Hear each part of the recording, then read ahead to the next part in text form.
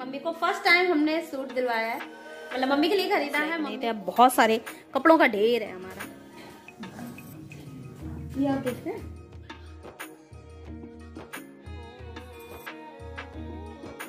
फैलारा फैलाया था इन्होंने बाहर वो समेटने के लिए बाहर की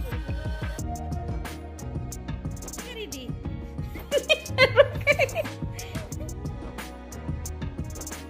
पर मेरी रखी थोड़ी सी बर्तन इसको भी मैं फटाफट से साफ़ करके हेलो फ्रेंड्स गुड मॉर्निंग सत श्रीकाल आदाब वड़कम मैं पम्मी और फर्चना स्वागत करती हूँ आपका अपने नए और इंटरेस्टिंग वीडियो के साथ। तो हम यहाँ रखे हुए हैं सिलाई मशीन देखिए, ये रही हमारी। और हम सूट सिल रहे थे मम्मी के। ये मम्मी को फ़र्स्ट टाइम हमने सूट दिलवाया है।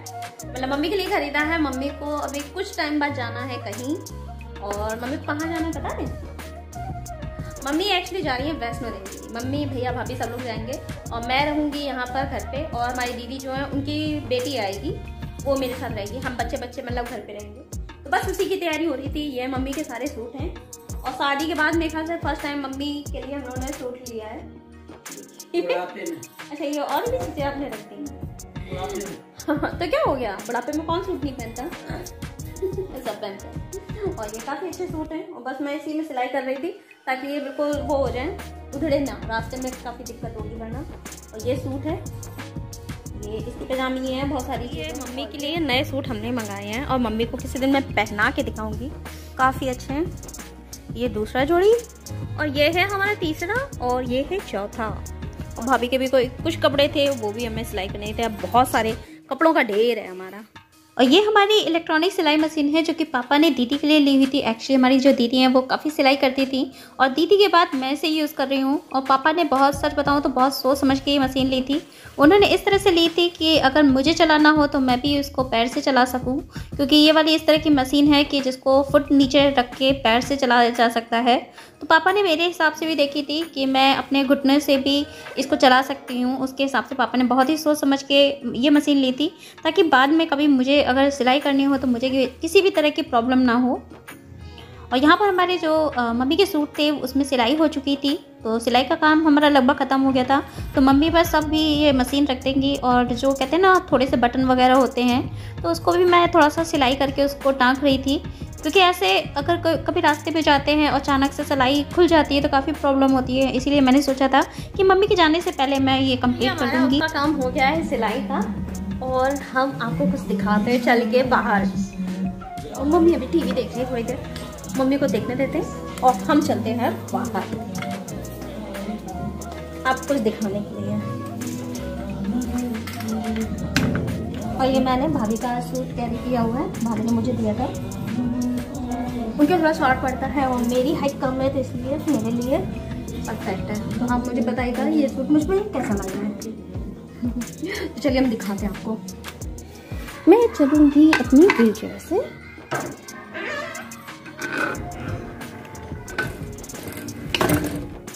पे बैठ लेते हैं अरे, ये है कहाँ?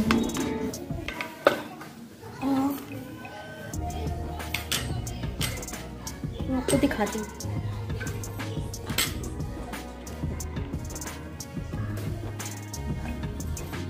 ये आप देख रहे हैं? ये देखिए। ये देखिए। ये हमारे किया हुआ है उस बिलौटे ने गोल्डी एकदम भाग गया लगता है। तो सब चीज़ें उलट पुलट कर जाता है। मॉर्निंग में सब मैंने ठीक किया, और फिर देखिए, सब उलट पुलट के चला गया। बहुत बदतमीज हो गया, बहुत से काम है।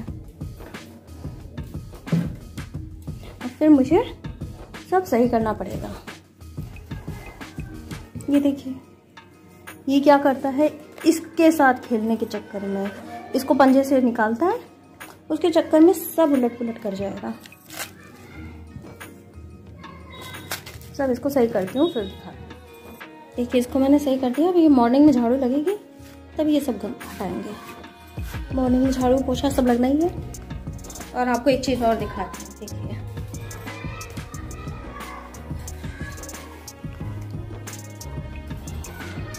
ये देखिए, ये है फ्लावर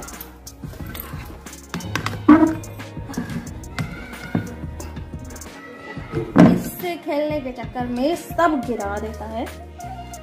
बहुत मक्कार है, वो बहुत ख़राब करता है। भाभी बहुत गुस्सा करती हूँ जल्दी से। इस मॉर्निंग में मैं सही करूँगी अभी नहीं कर रही मैं कुछ?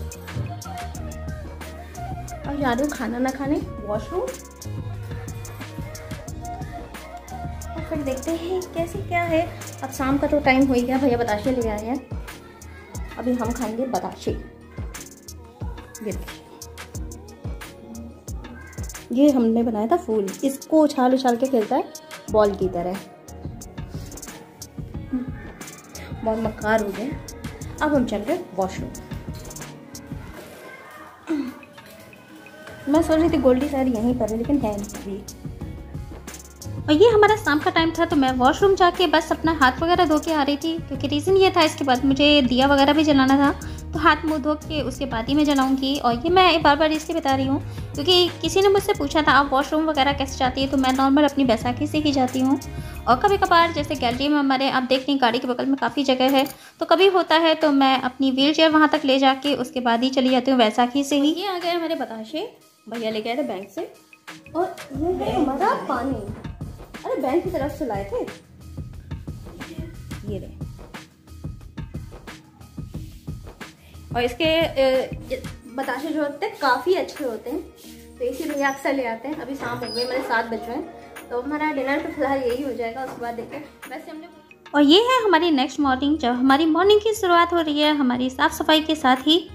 और यहाँ पर मम्मी बाहर खड़ी हुई थी, क्योंकि नॉर्मली जब मैं ये सब काम करती हूँ तो मम्मी सामने ही खड़ी हो जाती हैं तो बस वही मम्मी कर रही थी, जिसकी वजह से मैंने मम्मी को ही कैमरा दे दिया अपना, और फ़ोन दे दिया, और मम्मी से ही थोड़ी सी रिकॉर्डिंग करवा ली है मैंने। और यहाँ पर हम आ चुके हैं नहा के और रचित ने आज कर ली छुट्टी क्योंकि कल से उसके पेपर है। और गोल्टी को देखो। ऐसे गोल्टी को ये आराम से सोए पड़े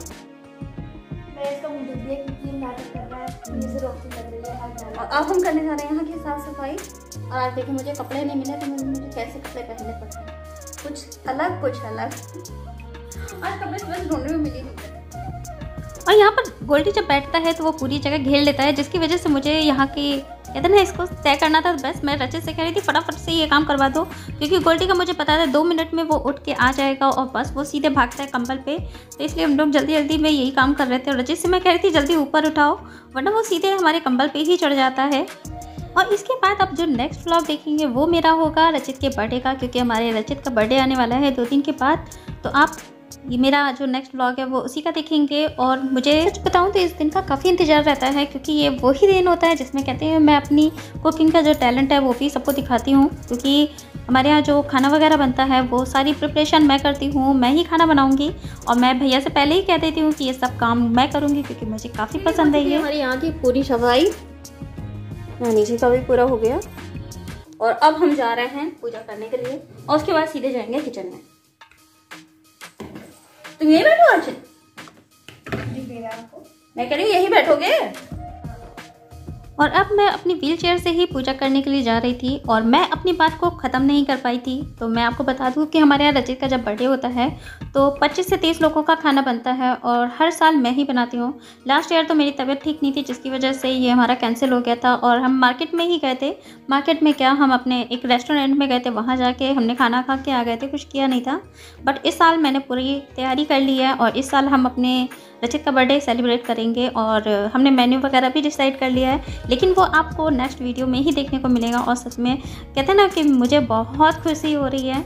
चलिए, आप अपने मेरे अगले वीडियो में भी बने रहेगा मुझे बहुत खुशी होगी, क्योंकि काफ़ी अच्छा लगता है जब हम कुछ अलग करके दिखाते हैं और आप सबका सपोर्ट भी मिलता है जैसे। तो आप सबसे यही रिक्वेस्ट करूँगी कि जैसे आपने अभी तक मेरे ब्लॉग्स में मेरा साथ दिया वैसे ही आने वाले ब्लॉग्स में मेरा साथ दीजिएगा, क्योंकि बहुत अच्छा लगता है कि मैं ब्लॉग्स में कोशिश यही करती हूँ कि जितना ज़्यादा से ज़्यादा होता है अपने चलने फिरने का, जो मैं डेली काम करती हूँ, सबका कुछ ना कुछ ऐड करूँ और यही मैं उम्मीद करती हूँ कि आपको भी ये सब चीज़ें पसंद आएँगी।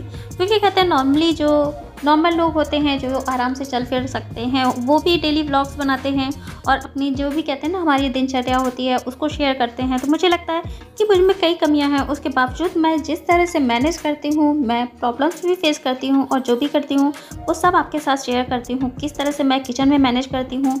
और मुझे अभी कुछ दिन पहले ही एक कमेंट आया था कि आप ऊपर की चीज़ें, जैसे हमारे किचन पोर्शन में होती हैं, वो ऊपर की चीज़ें, वो आप किस तरह से उठाती हैं? तो चलिए आपको मैं दिखाती हूँ। हालाँकि इसमें कुछ चीज़ें थोड़ी सी कट गई हैं तो लेकिन आप आगे बने रहिए। आगे मैंने दूसरी तरह से भी रिकॉर्डिंग की थी। और आज का ब्लॉग को आपको देख के भी ये भी पता चल जाएगा कि मैं बिना किसी की हेल्प लिए जब अपने किचन में काम करती हूँ तो किस तरह से करती हूँ। और कहते हैं ना कि बिना हेल्पर के अगर आपको काम करना है, आपको, आपके साथ पचास तरह की कमियाँ हो दिक्कत हो तब आप किस तरह से मैनेज करेंगे? तो आज का ब्लॉग मेरा उसी की तरह से है कुछ क्योंकि आज ऐसा था कि मॉर्निंग में तो हमारा जो भी काम था वो हो गया। यहाँ से मुझे कुछ सामान उतार के दिखाना था सिर्फ़ लेकिन हमारा कैमरा जो है उसने पूरा मेरा सपोर्ट नहीं किया।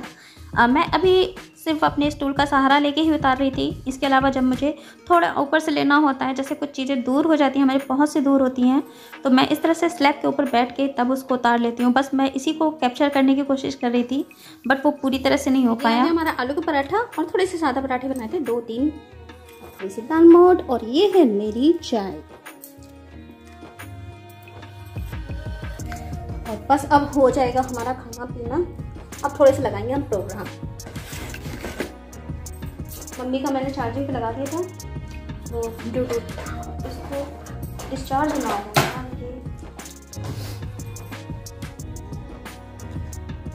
हाँ और फाइनली अब हो रहा है हमारा शाम का टाइम और ये देखिए ये सो रहे हैं। और अब हम जा रहे हैं इनका जो कल फैलारा फैलाया था इन्होंने बाहर वो समेटने के लिए बाहर की थोड़ी सफ़ाई करने के लिए। और सब्ज़ी मैं छौक आई हूँ। मैंने बैगन आलू की सब्ज़ी छौकी थी अभी। मैं अभी छौक के ही आई हूँ। चटपटी सी बनाई है और अब जा रही हूँ वो करने के लिए आ, बाहर सफ़ाई करने के लिए। और बाकी दाल चावल वगैरह बनेंगे तो वो भाभी बनाएँगी। तो देखते हैं और मैं दिखाती हूँ बाहर की मैं जा रही हूँ। व्हील चेयर से ही जाऊँगी सफ़ाई करूँगी क्योंकि इसके बाद भैया आ जाएँगे। और भैया के सामने मैं जल्दी ये सब चीज़ें नहीं करती कब कभी भैया को गुस्सा भी आ जाता है।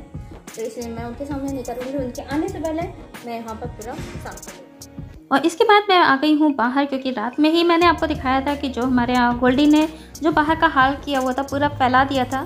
तो जिसकी वजह से मॉर्निंग में सच बताऊँ तो उतना टाइम नहीं मिल पाता है। रीज़न ये होता है कि मॉर्निंग में जल्दी उठ के फिर थोड़ा झाड़ू पोछा वगैरह सब चीज़ें होती हैं नहाना धोना पूजा करना, नाश्ता बनाना। एक तरह से देखा जाए तो मतलब घर का पूरा ही काम होता है। वो सब करने के बाद मुझे लगा ये ऐसा काम है जिसको हम बात के लिए टाल सकते हैं। तो बस मैंने इसको शाम के लिए ही अपना टाल दिया है क्योंकि शाम को भैया भी आते हैं। तो उससे पहले ही मैंने थोड़ी सफ़ाई कर लिया तो क्योंकि ये देखने में भी नहीं अच्छा लगता है।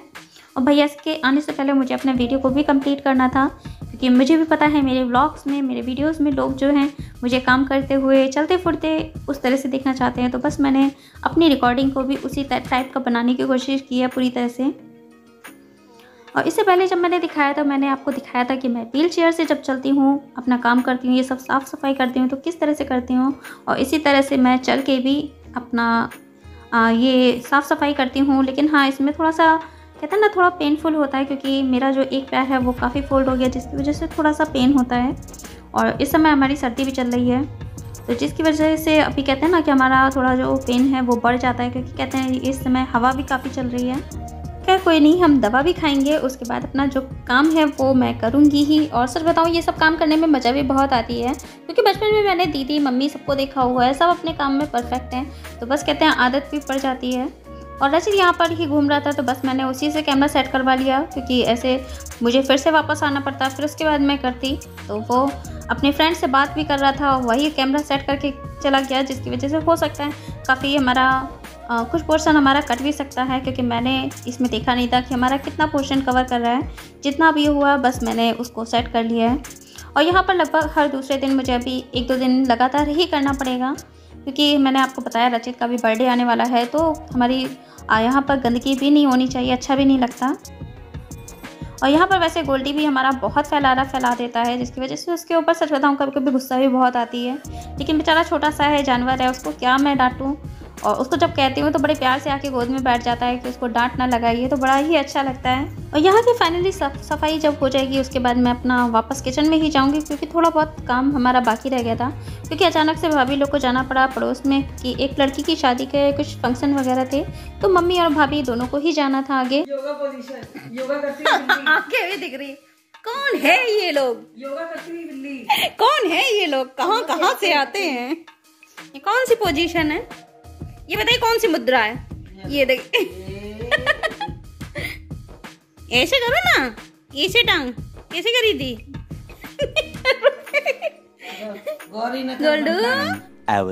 और यहाँ पर किसी ने मुझसे पूछा था कि आप जब अपनी किचन में ऊपर से सामान उठाती हैं तो कैसे उठाती हैं? तो बस मैंने अपने कैमरे को थोड़ा सा दूर आज आ, उसको लगा दिया था ताकि मेरी रिकॉर्डिंग पूरी हो। इस समय फाइनली मैंने बहुत ही सही अपना कैमरा सेट किया था।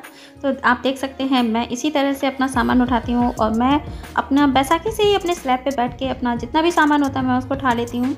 और जितना मेरा हाथ जाता है उसके बाद अगर हमारे जैसे कोई सामान है चमचा वगैरह या फिर अगर होता है तो मैं ऐसे ही अपना और ऊपर थोड़ा सा चढ़ के फिर उसके बाद जितना भी हमारा सामान होता है वो उठा लेती हूँ। वैसे जल्दी मुझे और आगे जाने की ज़रूरत नहीं पड़ती क्योंकि भाभी हैं रचित है और मम्मी वगैरह सब हैं तो वो हेल्प के लिए आ जाती हैं। फ़िलहाल मुझे रिकॉर्डिंग करनी थी तो मुझे मैंने आपको दिखा दी कि मैं बन चुकी है और ये मैं चढ़ा रही हूँ दाल।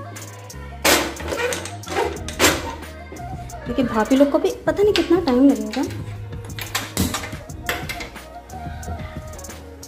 और इन लोग की चाय मैं ढक के रख दूँगी मम्मी की और भाभी की।